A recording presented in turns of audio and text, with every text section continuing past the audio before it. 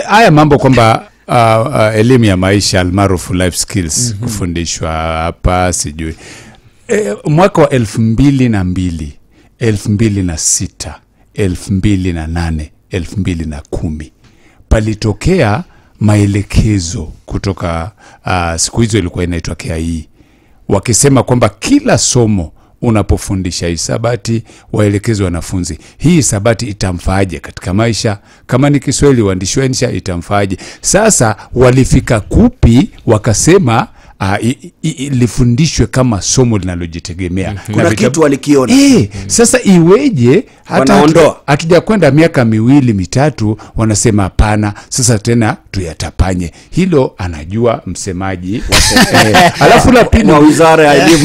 la- pili ndugu hebu angalia pamekuwepo vitabu vya uh, pretech uh, computer business. uh, business studies. Sasa ya, haya masomo yakifundishwa na walimu tofauti kwa wakati tofauti. Sasa unaposema ya Ya- yatachukuliwa na mwalimu mmoja? Kitabu kimoja?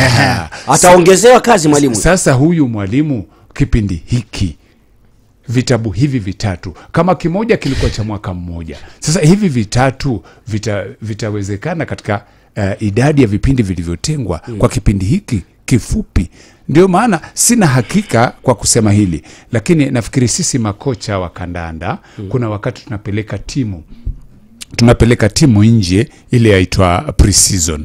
Yaani kufanya majaribisho uone huyu mchezaji anaweza kuingilia na vipi na huyu alafu toka pale tukija kwenye sayansi tunaingia kwenye maabara. Sina hakika na ninalotaka kusema ila nitalisema je KICD ilikosea mahali hatua fulani. Sasa tumerejea kwenye maabara kujaribisha kama tukiseta hiki na hiki kinaweza kwenda, kwa sababu ukweli ni kwamba mwalimu hapa atapata tabu.